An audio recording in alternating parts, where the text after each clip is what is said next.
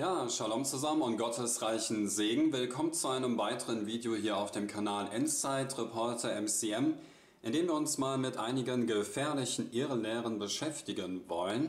Und wir tun das gleich alles anhand der Bibel. Ich möchte euch zunächst mal etwas zeigen. Und zwar den Titel eines Videos vom YouTube-Kanal Apologetik absolut arrogant. Da heißt der Titel dieses Videos Josef von Apologetik absolut arrogant bittet um Vergebung bei Nature 23, MCM und ihren Anhängern. Und ich habe eine Zeugin, also als ich den Titel gelesen habe, habe ich mich echt total gefreut.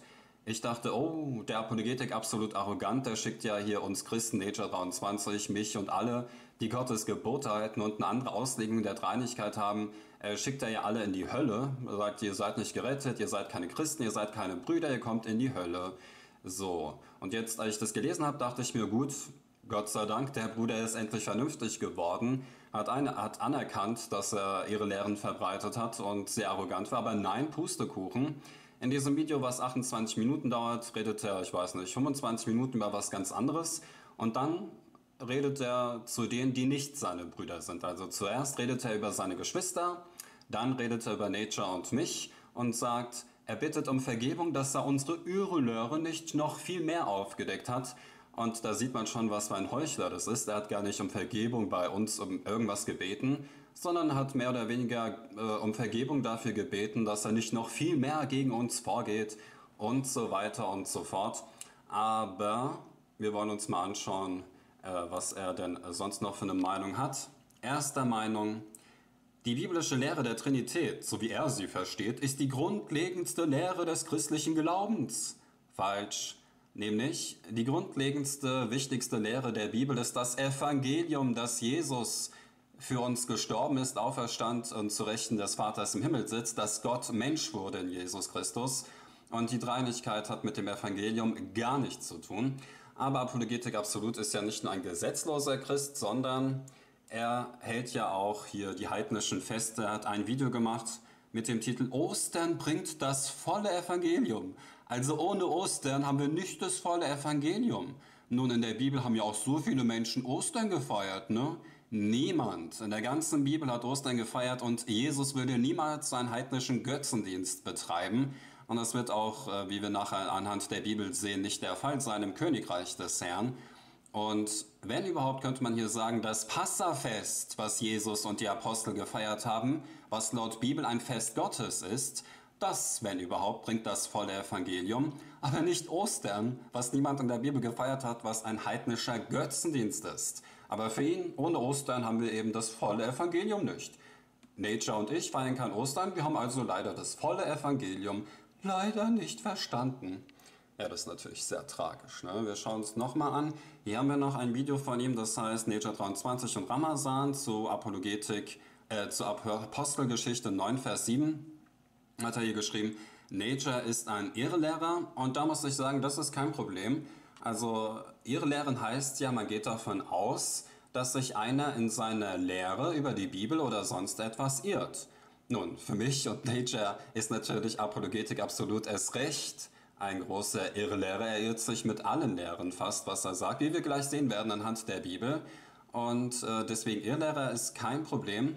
Aber wo ich sehr allergisch ähm, reagiere, upsala, so, wo ich sehr allergisch äh, reagiere, ist, wenn jemand anderen das Heil abspricht. Und da ist ja diese Apologetik absolut arrogant, auf jeden Fall einer von vielen. Hier hat einer geschrieben, Nature ist der beste Bibellehrer Deutschlands und so weiter und so fort.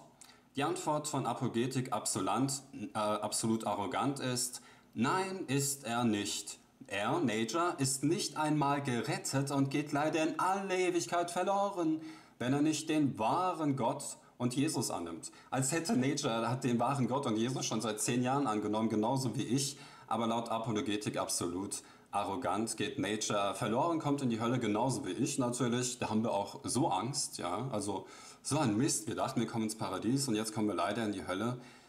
Tja, das ist kein, leider kein Einzelfall. Hier sehen wir noch so einen Kanal von einem absolut arroganten, gesetzlosen Ostereier-Irrlehrer, Johannes 14,6. Und da heißt der Videotitel warum Endzeitreporter MCM, Nature 23 und noch viele andere in die Hölle kommen. Ja, und auch hier also ähnliches arrogantes Niveau wie Apologetik absolut arrogant, auch hier ein Irrlehrer, aber der Kanal Apologetik Absolut seit sieben Jahren am Start und erst 2000 Abonnenten. Das heißt, die meisten Christen, die haben so äh, erkannt, was ein Irrlehrer das ist. Ich habe ja auch viele Mails bekommen über Apologetik absolut arrogant, die gesagt haben jetzt, dass sie jetzt auch äh, gecheckt haben, was Irrlehren er verbreitet. Und deswegen dieses Video ist gar nicht gegen Apologetik absolut arrogant oder gegen diesen Johannes 14,6, sondern es ist vor allem für die Glaubensgeschwister, die immer noch glauben, dass das alles so wahr wäre, was Apologetik absolut arrogant und diese Irrlehrer so verbreiten. Und deswegen ähm, möchte ich jetzt mal die Bibel sprechen lassen, was die Bibel über diese Irrlehrer zu sagen hat, die uns das Heil absprechen, die Gesetzlosigkeit lehren und tun und die Dreinigkeit auslegen auf eine Art und Weise, wie sie nicht biblisch ist. Und vor allem ähm, ihn ist ja auch die Dreinigkeit eine Lehre, die äh, heilsentscheidend ist. Also wer nicht an die Dreinigkeit glaubt, kommt in die Hölle. Und da wollen wir uns jetzt mal anschauen, was die Bibel über solche Irrlehrer zu sagen so, hat. Dann wollen wir uns mal anschauen, was die Bibel über solche Irrlehren und ihre Lehrer zu sagen hat. Wir schauen uns als erstes mal an, was Jesus sagt über jene, die anderen das Heil absprechen wollen und meinen, sie seien der Richter, obwohl laut Bibel Jesus es sein wird, der uns richten wird. Jesus sagt in Matthäus 7, Vers 1, Richtet nicht, damit ihr nicht gerichtet werdet. Denn mit demselben Gericht, mit dem ihr richtet, werdet ihr gerichtet werden. Und mit demselben Maß, mit dem ihr anderen zumesst, wird auch euch zugemessen werden. Und das ist also eine gefährliche Aussage, wenn man Christen das Heil absprechen möchte. Da kann man biblisch argumentieren, ja, ich glaube, das ist wegen dem Vers, dem Vers. Da gibt es keine Entschuldigung dafür laut Bibel, wenn, wenn man sich auf den Richterstuhl des Christus setzt und man, man äh, praktisch lehrt, der kommt in die Hölle, der hat das ewige Leben. Ich meine, wo kommen wir denn dahin, wenn wir jetzt äh, nicht nur von Islamisten und Muslimen in die Hölle geschickt werden, sondern jetzt schicken auch noch Christen, andere Christen in die Hölle? Ähm, sehr traurig, aber wahr leider.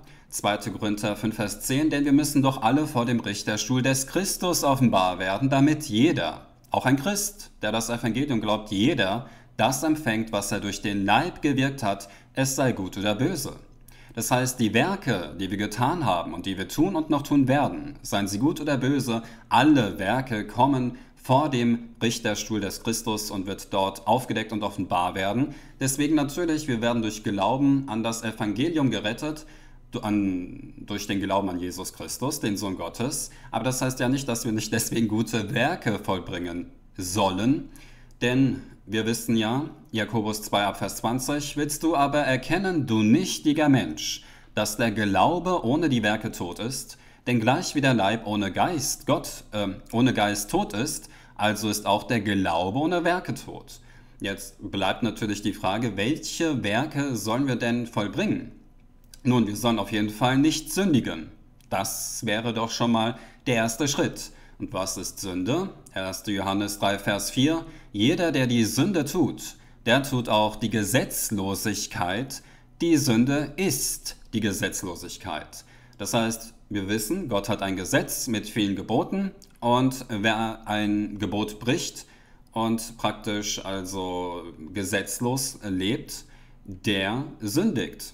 Das heißt, wenn jetzt Christen wie Apologetik absolut arrogant oder andere ähm, sagen, das Gesetz Gottes ist abgeschafft, dann tun sie und lehren sie die Gesetzlosigkeit. Und das ist, wie wir sehen werden, etwas, was sehr gefährlich ist, laut Bibel. In Römer 3, Vers 31 und Kapitel 6, Vers 15 sagte Paulus, heben wir denn nun das Gesetz auf durch den Glauben? Das sei ferne. Also nur weil wir durch Glauben gerettet sind, ist das Gesetz ja nicht abgeschafft. Und das sagte auch Jesus, wie wir gleich sehen werden. Denn vielmehr bestätigen wir das Gesetz. Sollen wir denn nun sündigen? Sünde, Gesetzlosigkeit, Übertretung des Gesetzes. Sollen wir also das Gesetz brechen, weil wir nicht unter dem Gesetz, sondern unter der Gnade sind? das sei ferne. Also nur weil wir aus Glauben und aus Gnade gerettet sind, heißt es nicht, dass das Gesetz abgeschafft ist oder dass wir auf einmal sündigen können. Die zehn Gebote sind auch Teil des Gesetzes Gottes. Das heißt, wenn jemand sagt, das Gesetz ist abgeschafft, dann ist auch das Gebot automatisch abgeschafft. Du sollst nicht morden, du sollst nicht stehlen, du sollst nicht Ehe brechen, du sollst den Sabbat heiligen, alles abgeschafft laut den Gesetzlosen. Jesus sagt in Matthäus 24, Vers 12 über die Endzeit, weil die Gesetzlosigkeit überhand nimmt, also die Sünde, wird die Liebe in vielen erkalten, nämlich vor allem die Liebe zu Gott. Und das ist die Liebe zu Gott, 1. Johannes 5, Vers 3. Das ist die Liebe zu Gott, dass wir seine Gebote halten und seine Gebote sind nicht schwer. So, also ganz einfach, die Gesetzlosen, Gesetzlose sind, egal ob das jetzt Christen sind oder Juden, auf jeden Fall sind das Menschen, die tun und lehren die Gesetzlosigkeit und dafür haben sie manchmal oder meistens andere Alternativen, nämlich heidnische Feste wie Ostern und Menschengebote wie die Sonntagsheiligung, das Essen von Schweinefleisch, Weihnachten, Ostern und dieses ganze heidnische Gedöns, was laut Bibel Sünde ist. Jetzt wollen wir mal schauen, was Jesus sagte über die Gesetzlosigkeit und ob er das Gesetz abgeschafft hat. Matthäus 5 ab Vers 17, Jesus sagt, ihr sollt nicht meinen, dass ich gekommen sei, um das Gesetz oder die äh, Propheten aufzulösen. Ich bin nicht gekommen, um aufzulösen, sondern um zu erfüllen. Und erfüllen klingt eher nach voll machen und nicht leer machen oder geschweige denn wegnehmen.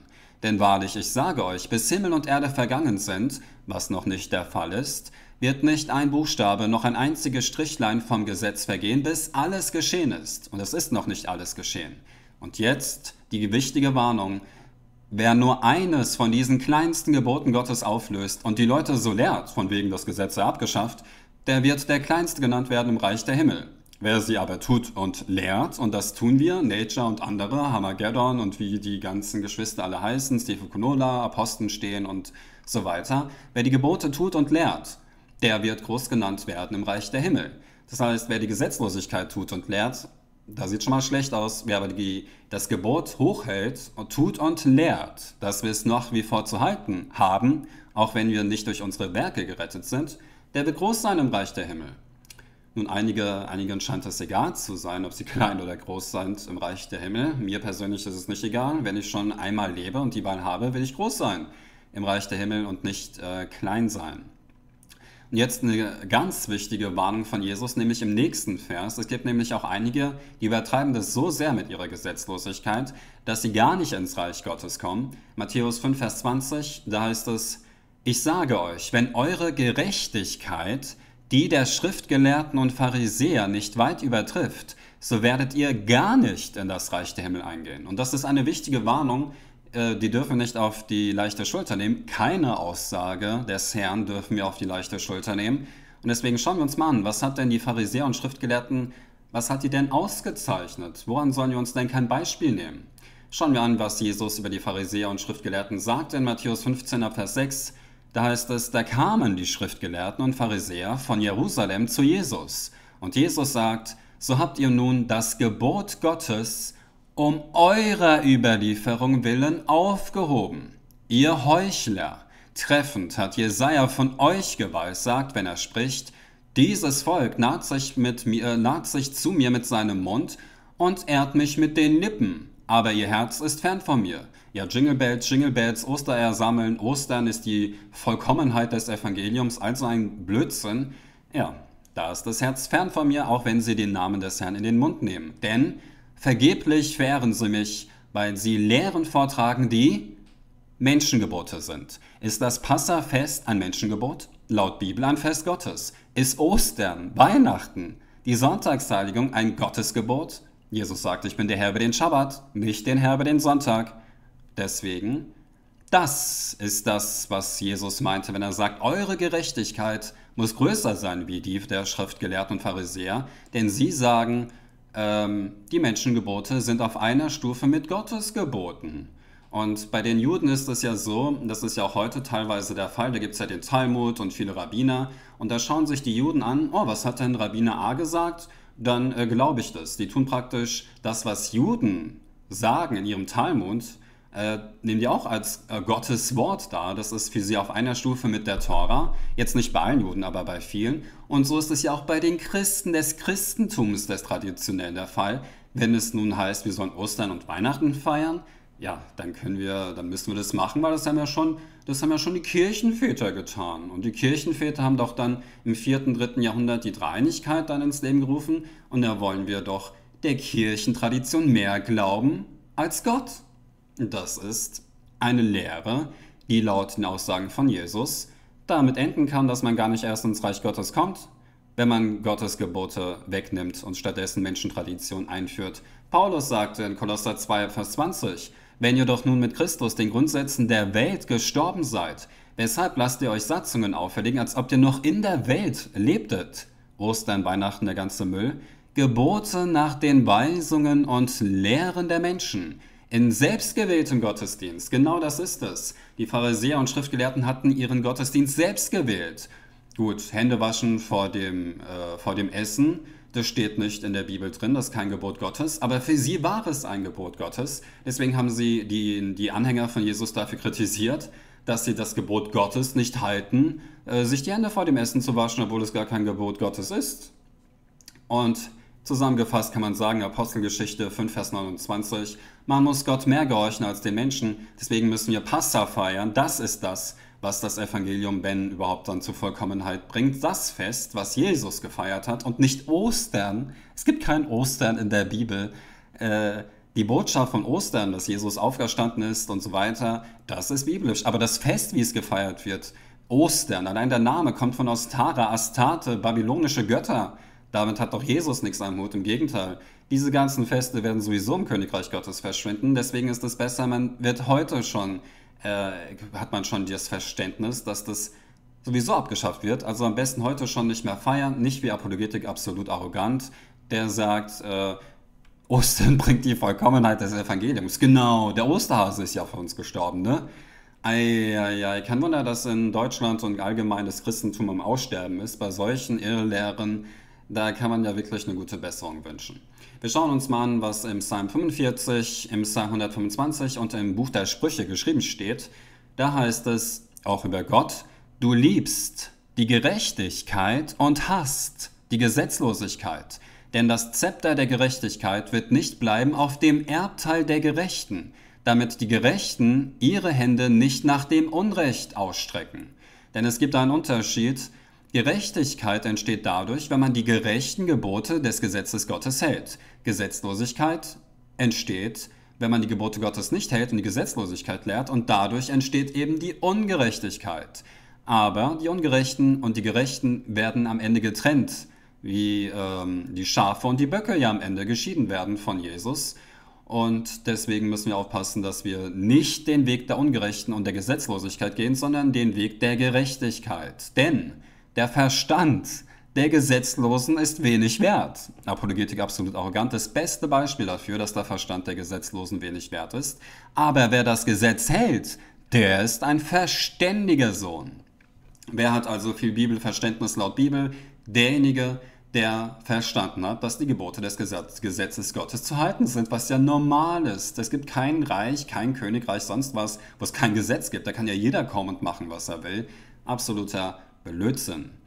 Ähm, der Verstand der Gesetzlosen ist wenig wert, das habe jetzt nicht ich gesagt. Wenn das jemand kritisieren will, dann müsste Gott kritisieren und ob das so gut ist, glaube ich eher weniger. Paulus sagt in Römer 7, Vers 12, denn so ist das Gesetz heilig und das Gebot ist heilig und gerecht und gut. Wenn wir also das gerechte Gesetz Gottes halten, leben wir ja gerecht, gut und heilig. Wenn wir aber die Gesetzlosigkeit lernen, sind wir ungerecht.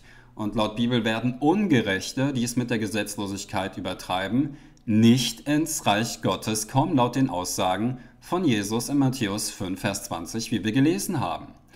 Ebenfalls sagte Jesus in Matthäus 7, Vers 21, Nicht jeder, der zu mir sagt, Herr, Herr, wird in das Reich der Himmel eingehen, sondern wer den Willen meines Vaters im Himmel tut. Und was ist der Wille des Vaters, den wir tun sollen? Werden wir gleich sehen. Jesus sagte weiter, viele werden an jenem Tag zu mir sagen, Herr, Herr, haben wir nicht in deinem Namen, im Namen von Jesus also, geweissagt und in deinem Namen Dämonen ausgetrieben, in deinem Namen Wundertaten vollbracht und so weiter. Und dann werde ich ihn bezeugen, ich habe euch nie gekannt, weicht von mir, ihr Gesetzlosen. Nun wird das Jesus zu Menschen sagen, die ein Gesetz haben. Wir haben ja die Tora, das Gesetz Gottes, das wir halten wollen. Wir sind nicht gesetzlos. Diejenigen, die sagen, Jesus oder irgendjemand hat das Gesetz Gottes abgeschafft und wir brauchen das nicht mehr halten, der ist gesetzlos und den kennt der Herr nicht. Und es ist ja so, wenn angenommen jemand hat das Gesetz, will das Gesetz Gottes halten und wird jetzt schwach und bestellt sich jetzt äh, eine Pizza mit Schweinefleischsalami drauf, weil er schwach wurde. Jetzt ist er deswegen nicht gesetzlos, sondern er hat ja trotzdem das Gesetz, nur ist halt schwach geworden. Und dafür ist die Gnade da, dass wenn wir sündigen, das Gesetz übertreten, dass wir einen Fürsprecher im Himmel haben, der mit seinem Blut dafür bezahlt hat, für unsere Sünden, nämlich Jesus Christus. Gesetzlos ist aber der, der sowieso egal ist, ob er Schweinefleisch isst oder nicht, ob er Sabbat hält oder nicht, weil für ihn ist ja das Gesetz abgeschafft. Deswegen Gesetzlose sind solche Irrlehrer wie Apologetik absolut arrogant oder Johannes 14,6 und andere, die ich gar nicht erwähnen möchte, weil ich gar keine Werbung eigentlich für diese Christen machen möchte. Ähm, also schauen wir uns. Jesus sagte, wenn ihr ins Reich der Himmel eingehen wollt, dann müsst ihr den, den Willen des himmlischen Vaters tun. So wie Jesus, Lukas 22, Vers 42. Jesus sagte, nicht mein Wille, sondern dein Wille, Vater, soll geschehen. Was ist der Wille Gottes? Psalm 40, Vers 9. Deinen Willen zu tun, mein Gott, begehre ich und dein Gesetz ist in meinem Herzen. Äh, zu jemandem, der das Gesetz im Herzen hat und bei aller Schwachheit versucht, das Gesetz Gottes zu halten und gerecht zu leben, weil das Gesetz ja gerecht ist, laut Römer 7, der ist nicht gesetzlos und den kennt Jesus aber jemand, der die Gesetzlosigkeit tut und lehrt und uns Christen in die Hölle schickt, weil wir nicht sündigen wollen und die Gebote Gottes als höher achten als die Menschengebote, wir werden von diesen Christen gesetzlosen Ostereiern da in die Hölle geschickt. Äh, aber wir schauen mal, was Jesus sagte, was mit Gesetzlosen passiert. Matthäus 13 Vers 40. Gleich nun, wie man das Unkraut sammelt und mit Feuer verbrennt, so wird es sein am Ende dieser Weltzeit wenn der Sohn des Menschen seine Engel aussenden wird, und dann, sie werden alle die Ärgernisse und die Gesetzlosigkeit verüben, aus seinem Reich sammeln und werden sie in den Feuerofen werfen. Wer kommt in den Feuerofen am Ende der Tage? Diejenigen, die das Gesetz halten wollen oder diejenigen, die Gesetzlosigkeit verüben. So, also, es ist, wenn, ich sage jetzt nicht, dass Apologetik absolut in den Feuersee kommt, in den Feuerofen, weil wir wissen ja nicht, was er in fünf Jahren denkt. Ich weiß auch nicht, wie alt er ist, schätze mal 24, 25 oder so. Geben wir dir noch mal fünf Jahre, ja, und dann schauen wir mal, ob er immer noch die Gesetzlosigkeit und seine merkwürdige Auslegung der Dreinigkeit lehrt. Falls nicht, ist ja gut. Falls doch, schauen wir mal, ob Matthäus 13 Abvers 42 da greift. Aber ich würde nie behaupten, er kommt in den Feuersee, er kommt in die Hölle, denn das ist viel zu riskant. Da würde ich mich ja strafbar machen, das, das Gesetz brechen, weil wir sind nicht der Richter und wer sind die Christen, die das Gesetz noch nicht mehr halten, die gar nicht Gerechtigkeit ausüben, dass sie andere richten. Das sollen wir nicht tun, das werde ich auch nicht tun, äh, so war mir Gott helfe. Und schauen wir nochmal ins Buch der Psalmen und in Offenbarung rein, bevor wir uns dann gleich nochmal mit der Dreinigkeit kurz beschäftigen wollen. Da heißt es im Psalm 119, ich will dein Gesetz stets bewahren, immer und ewiglich. Moment mal, aber irgendwann kommt doch der neue Bund. Wieso soll man denn ewig das Gesetz halten? Nun, es heißt weiter, Zornglut hat mich ergriffen wegen der Gottlosen, die dein Gesetz verlassen. Und ich bin manchmal auch äh, zornig, wenn ich solche gesetzlosen Christen sehe, die anderen das Heil absprechen. Das ist etwas, es gibt nichts Schlimmeres für mich als Christen an ihre Lehren als so etwas. Bei Nacht denke ich an deinen Namen, o Herr, und ich bewahre dein Gesetz. Wie habe ich dein Gesetz so lieb? Ich sinne darüber nach den ganzen Tag. Mein Leben ist beständig in Gefahr, aber ich vergesse dein Gesetz nicht. Großen Frieden haben, die dein Gesetz lieben, und nichts bringt sie zu Fall. Nun, wer zu Fall kommt am Ende der Tage, sind das diejenigen, die die Gebote Gottes halten, oder sind das diejenigen, die Menschengebote und Traditionen der Menschen halten und Gottes Gesetz als abgeschafft betrachten? Schau mal ins Buch der Offenbarung, das ist das letzte Buch der Bibel, also da kann man nicht sagen, ja, das war das Alte Testament. Offenbarung 12, Offenbarung 14 und Kapitel 22, da heißt es, und der Drache, nämlich Satan, wurde zornig über die Frau, das Volk Gottes, zu dem wir Christen gehören, nämlich Israel. Wir sind das Haus Israel und keine Konfession der Baptisten oder sonst was. Ähm, und der Drache wurde zornig über die Frau und ging hin, um Krieg zu führen sogar mit den übrigen von ihrem Samen, welche die Gebote Gottes befolgen und das Zeugnis Jesu Christi haben. Denn hier ist das standhafte Aussagen der Heiligen der Endzeit. Hier sind die, welche die Gebote Gottes und den Glauben an Jesus bewahren. Beides gehört zusammen wie das Alte und Neue Testament, wie der himmlische Vater und sein Sohn Jesus Christus, der Glaube an Jesus Christus und das Evangelium und die Befolgung der Gebote Gottes. Denn glückselig sind, die seine Gebote tun, die Gebote Gottes, damit sie Anrecht haben an den Baum des Lebens und durch die Tore in die Stadt eingehen können. Nun, was müssen Menschen also tun, die dann im Königreich Gottes in die Stadt, ins heilige Jerusalem eingehen wollen, ins Neue? Die Gebote Gottes. Ich meine, denkt ihr, Gott wird Gesetzlosigkeit in seinem Reich dulden, Sünde dulden in seinem heiligen, sündenlosen Reich, wo sein sündenloser Messias regiert? Natürlich nicht. Jeder, der sich weigert, Gottes Gesetz zu halten, der kommt da nicht rein. So einfach ist das. Jesaja 66 und Saharia 14, wir schauen mal ins Königreich Gottes, wenn Jesus hier auf Erden regiert. Was werden wir machen? Werden wir dann mit Ostereiern und Tannenbäumen Richtung Jerusalem ziehen? Ich glaube nicht. Es wird nämlich geschehen, dass an jedem Neumond und an jedem Sabbat alles Fleisch sich einfinden wird, alle Menschen, um vor mir anzubeten, spricht der Herr.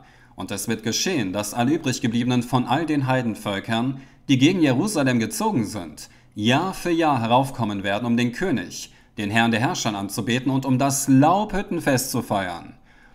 Also was wird im Königreich Gottes getan? Es wird jede Woche, jede Woche wird der Schabbat gefeiert und jedes Jahr werden auch die Feste Gottes gefeiert, zum Beispiel Passafest oder auch das Laubhüttenfest. Jesus sagte, auch wenn ich wiederkomme, dann trinke ich wieder hier von, dieser, von diesem Getränk, wenn ich mit euch im Königreich das Passa feiern werde. Wenn ihr beide, Apologetik absolut arrogant und ich vor Gott stehen im Richterstuhl Gottes, wenn er mich fragt, äh, ähm, ähm, MCM, ich habe doch das Gesetz Gottes abgeschafft, warum hältst du denn die Gebote Gottes? Na, sage ich, Herr, du hast gesagt in Matthäus 5, ich bin nicht gekommen, das Gesetz abzuschaffen. Du hast die Menschen gewarnt. Wehe, du tust auch nur ein Strichlein vom Gesetz abschaffen. Und das habe ich getan. Und dein Gesetz ist gerecht. Ich, hab, ich wollte dir treuer sein als den Menschen und den Menschentraditionen. Dafür soll ich bestraft werden? No, laut Bibel nicht. Und was sagt Apologetik absolut arrogant? Ja, ich dachte, das Gesetz wäre doch abgeschafft und Ostern, Weihnachten, das sind doch christliche Feste und Punkt. Mehr wird sich bestimmt ja nicht anhören, denn da kommt schon der falsche Gedanke. Nicht alles, was christlich ist, ist biblisch. Ist der Weihnachtsmann ist christlich, nicht biblisch. Ist Ostern ist christlich, das wichtigste Fest im Christentum, aber es ist nicht biblisch. Von daher müssen nicht äh, christlich korrekt sein, wir müssen nicht politisch korrekt sein, wir müssen biblisch korrekt sein. Und das ist absolut, äh, Apologetik absolut arrogant, von hinten bis vorne nicht, wie wir gleich sehen. Wir gehen nicht, nämlich jetzt mal zur Dreieinigkeit. Wir sehen hier links eine Dreieinigkeit, wo ich sage, das könnte man biblisch irgendwie noch vertreten, wenn man denn den Heiligen Geist als eine Person sieht. Ähm, und rechts sehen wir eine Dreieinigkeitsform, die Apologetik absolut arrogant und andere Ehrelehrer vertreten und die laut Bibel Gotteslästerung ist. Wir schauen uns zuerst mal das an, was biblisch eher vertretbar wäre, nämlich dass es eine Hierarchie gibt zwischen himmlischer Vater, dem Sohn Gottes Jesus Christus und dem Heiligen Geist. Und deswegen kann man sagen, auf Platz 1 oder A, der himmlische Vater, dann kommt zweitens oder B, der Sohn Gottes. Und wenn der Heilige Geist, wenn man ihn unbedingt als Person ähm, sehen will oder als Gott oder wie auch immer, dann drittens C, der Heilige Geist. Denn auch Jesus sagte in Johannes 10, 14 und 20, mein Vater, der sie mir gegeben hat, ist größer als alle, also auch größer als der Sohn Gottes Jesus Christus, größer als der Heilige Geist, als alle. Ich gehe zum Vater, denn mein Vater ist größer als ich. Ich fahre auf zu meinem Vater und eurem Vater, zu meinem Gott und eurem Gott. Also auch Jesus, der Sohn Gottes, hat einen Gott, der über ihm geordnet ist, über ihm. Und das ist natürlich der Vater. Dann heißt es Hebräer 1 ab Vers 7, von den Engeln zwar sagt er, er macht seine Engel zu winden, aber von dem Sohn, nämlich von Jesus, dein Thron, o Gott, ja, Jesus ist Gott, richtig, dein Thron, o Gott, währt von Ewigkeit zu Ewigkeit. Denn du, Jesus, hast Gerechtigkeit geliebt, das Halten der Gebote Gottes, und Gesetzlosigkeit gehasst. Jesus hasst die Gesetzlosigkeit. Darum heißt es, darum hat dich, o oh Gott, Jesus, dein Gott, der Vater, gesalbt mit Freudenöl mehr als deine Gefährten. So, wenn Jesus also in Johannes äh, 20 sagt, dass der himmlische Vater sein Gott ist, und auch hier lesen wir in Hebräer 1, dass der Sohn einen Gott hat, der ihn gesalbt hat, dann ist es klar, dass Jesus also dem Vater untergeordnet ist. Deswegen hat Jesus ja auch immer gesagt, ich tue nicht meinen Willen, ich tue den Willen des Vaters im Himmel. Nun gibt es aber so Irrlehrer wie Apologetik absolut arrogant, die sagen, es gibt keine Hierarchie bei der Dreinigkeit. Alle sind wie, die, wie drei Wellensittiche auf der Stange in einem Vogelkäfig auf einer Ebene. Keiner ist über dem anderen, also praktisch 111 oder AAA, wie man auch immer das nennen will. Der himmlische Vater hat genauso viel zu sagen wie Jesus und der Heilige Geist hat genauso viel zu sagen wie der Vater. Dann gehen wir mal, nehmen wir das Beispiel mal und tun es mal auf eine irdische Familie projizieren. Stellen wir uns mal vor, beim Frühstückstisch, dass Mutter, äh, dass die Mutter, die präsentiert, sage ich mal, den Heiligen Geist, dann gibt es den Vater und den Sohn. Jetzt sagt der Sohn, jetzt sagt der, der, der Vater sagt zum Sohn am Frühstückstisch, Sohn, bring doch mal den Müll raus. Der Sohn sagt, auf gar keinen Fall, ich habe gar keine Lust, ich habe genauso viel zu sagen wie du, Vater.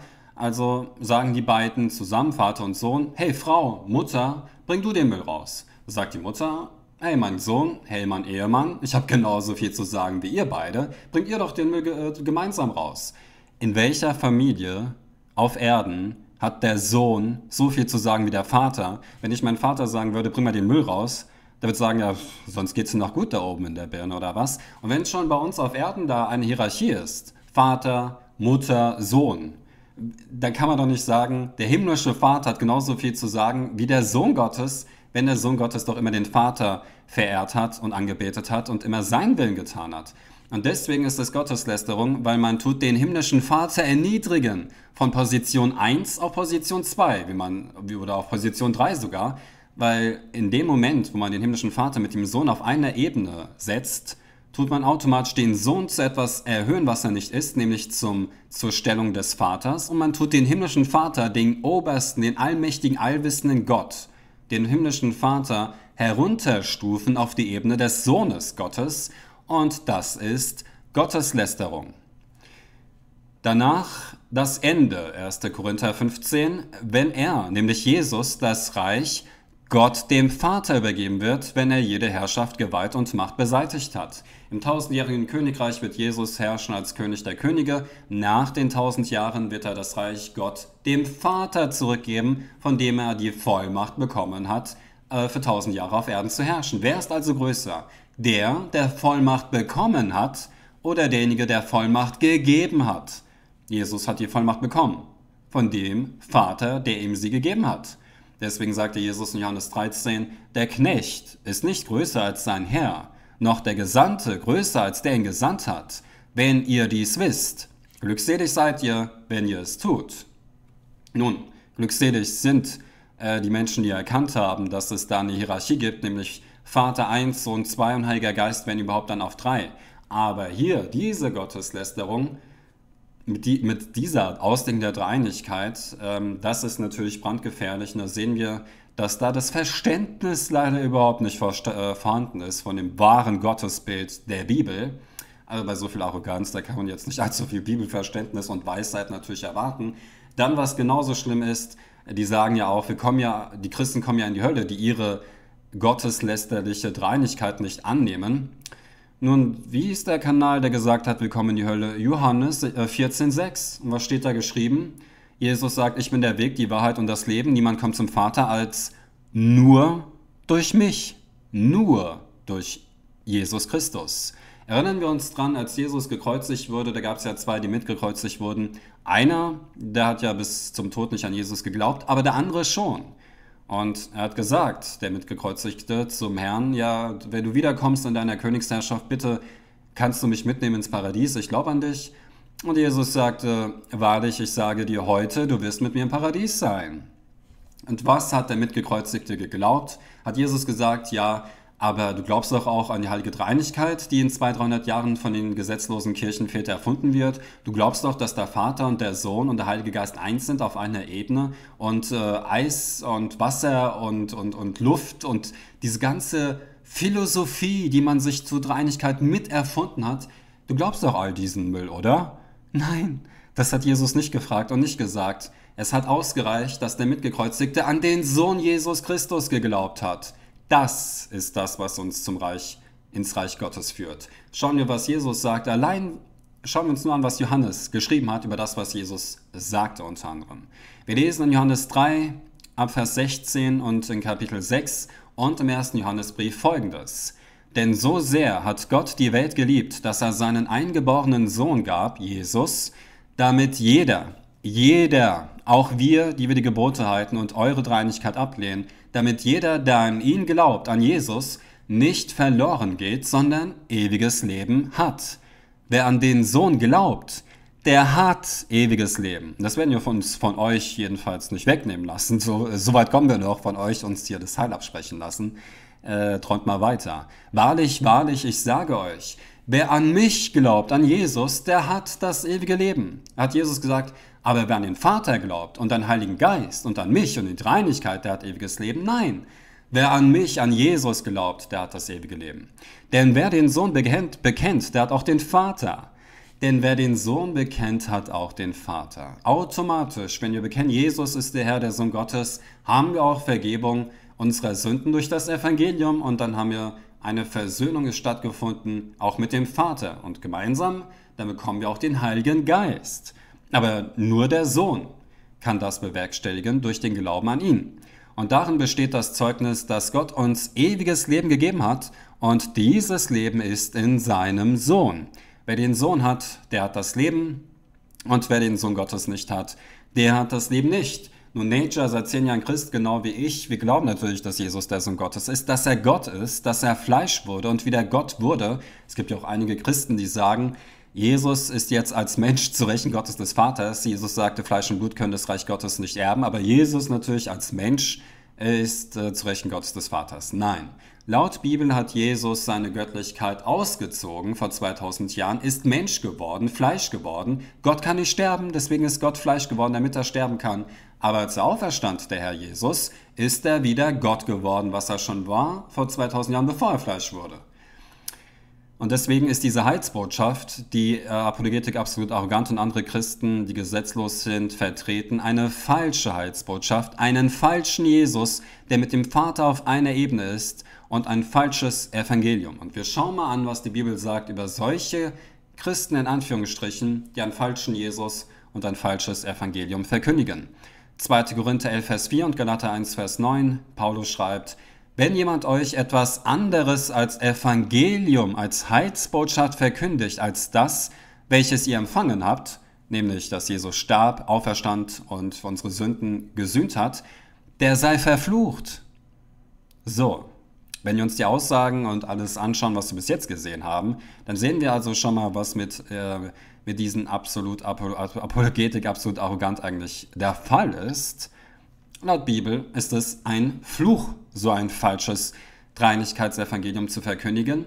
Denn wenn der, welcher zu euch kommt, einen anderen Jesus verkündigt, der mit dem Vater auf einer Ebene ist, den wir nicht verkündigt haben, oder wenn ihr einen anderen Geist empfangt, den Heiligen Geist, der auf einer Ebene ist mit dem himmlischen Vater, wo der Heilige Geist etwas vom Vater ist und nicht der Vater, den ihr nicht empfangen habt, oder ein anderes Evangelium, ein Dreieinigkeitsevangelium, das ihr nicht angenommen habt, so habt ihr das gut ertragen.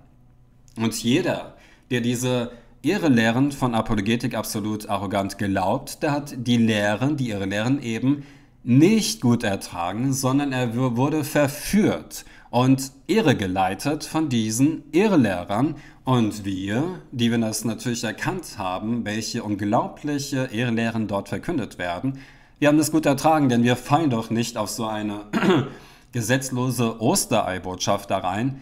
Die Vollkommenheit kommt nur durch, äh, des Evangeliums kommt nur durch Ostern. Das ist auch wieder ein falsches Evangelium. Dass die Vollkommenheit, äh, das äh, kommt nur ähm, durch Ostern. Was ein Quatsch. Niemand hat Ostern gefeiert, wird auch niemand mehr tun im Königreich Gottes.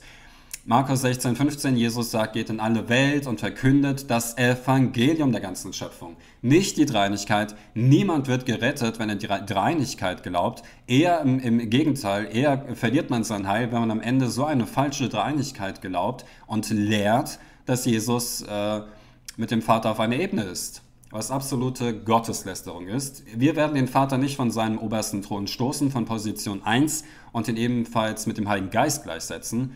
Das ist Gotteslästerung, damit wollen wir nichts zu tun haben. Also als Fazit könnte man sagen bezüglich des Kanals Apologetik absolut arrogant. Er hat ein falsches Gottesbild, das er lehrt, einen falschen Jesus, auch einen falschen Heiligen Geist, den er lehrt, einen falschen himmlischen Vater und zusammengenommen eine falsche Dreinigkeit ohne Hierarchie, dann ein falsches Evangelium, eine falsche Heilsbotschaft. Er sagt, das Evangelium erst ist vollkommen durch Ostern, ihr werdet nur gerettet durch seine merkwürdige Auslegung der Dreinigkeit. Wir haben ja gelesen, wer ein falsches Evangelium verkündet, einen falschen Jesus, was er ja macht, der ist laut Bibel, ja, verflucht. Dann tut und lehrt er die Gesetzlosigkeit und wir haben gesehen, was mit Gesetzlosen am Ende der Tage passiert. Und wir haben gesehen, was Jesus gesagt hat über diejenigen, die Gesetzlosigkeit tun und lernen und die Menschengebote halten, heidnische Feste und Traditionen wie Ostern und Weihnachten und dieser ganze heidnische Käse. Ja, da sagte Jesus, Matthäus 5, Vers 20, wer die Gerechtigkeit der Pharisäer dort übt, die auch Menschengebote gehalten haben, die werden das gar nicht ins, ins Reich Gottes kommen. Und dann Stolz und Hochmut. Diese Irrlehrer schicken Christen in die Hölle, obwohl sie selbst mit einem Bein, sage ich mal, schon dabei sind, das Heil zu verlieren, laut Bibel. Deswegen zwei Bibelverse, die besonders gut auf diesen Apologetik absolut arrogant passen, meiner Meinung nach. Sprüche 16, Vers 18, Stolz kommt vor dem Zusammenbruch und Hochmut kommt vor dem Fall. Und ähm, ich bin mir sicher, in der Endzeit wenn die Gesetzlosigkeit bestraft wird, was jetzt ja noch nicht so äh, der Fall ist, werden viele Christen sich nochmal an dieses Video, die das jetzt gesehen haben, erinnern und ich hoffe, dass ihr dann umkehren werdet und nicht mehr diesen Irrelehrern folgt, sondern der Wahrheit. Jesus sagt, ich bin die Wahrheit und auch das Gesetz und alle Gebote Gottes sind laut Bibel die Wahrheit. Ostern ist nicht Wahrheit, Weihnachten erst recht nicht. Jesaja 16, Vers 6, das ist ein Vers, der am meisten auf ihn zutrifft. Wir haben gehört von dem Hochmut Moabs oder man könnte auch sagen, wir haben gehört von dem Hochmut von Apologetik absolut arrogant, das sehr anmaßend ist, von seinem Übermut, seinem Stolz und seiner Überheblichkeit, seinem leeren Geschwätz. Und genauso, genau das ist halt auch bei ihm der Fall. So, das soll es eigentlich bis hierhin mit dem Video gewesen sein. Trinität und Gebote, Apologetik absolut arrogant gefährliche Irrlehren aufgedeckt und ich weiß, die Gesetzlosen werden weiterhin gesetzlos bleiben und die Ostereier werden weiterhin gesucht werden und die merkwürdige gotteslästerliche Auslegung von der Dreinigkeit von Apologetik absolut arrogant wird er trotzdem nicht wegwerfen, weil er ist ja so weise, dass er so viel Weisheit bekommen hat, dass er sogar glaubt, er könnte entscheiden, wer das ewige Leben hat und wer in die Hölle kommt. Arroganter geht's nicht mehr und ich bin seit zehn Jahren hier auf YouTube, aber so einen arroganten Irrlehrer habe ich in den zehn Jahren noch nicht erlebt und deswegen dachte ich mir, ich habe ja sie acht, fast 800 Videos. Zwei, drei Videos habe ich mich mal gegen andere Christen geäußert. Ich dachte mir, gut, das war jetzt mal wieder der Fall, weil ich ein paar Sachen einfach mal erklären wollte. Weil wir haben, mir haben ja, wie gesagt, viele Geschwister auch geschrieben, die jetzt ebenfalls erkannt haben, dass Apologetik arrogant ein Irrlehrer ist. Ich weiß, weiß jetzt nicht, ob sie jetzt... Äh, meine Videos gucken. Also sie haben auf jeden Fall gesagt, äh, da mit den Irrlehren wollen sie nichts mehr zu tun haben. Und ich hoffe und bete für alle Geschwister, die das jetzt gesehen haben, dass auch ihr endlich erkannt habt, was dort heutzutage im Christentum 2019 auf YouTube und auch außerhalb YouTubes äh, so los ist. Doch damit möchte ich mich nicht verabschieden. Ich möchte ja euch erst zum Schluss nochmal segnen.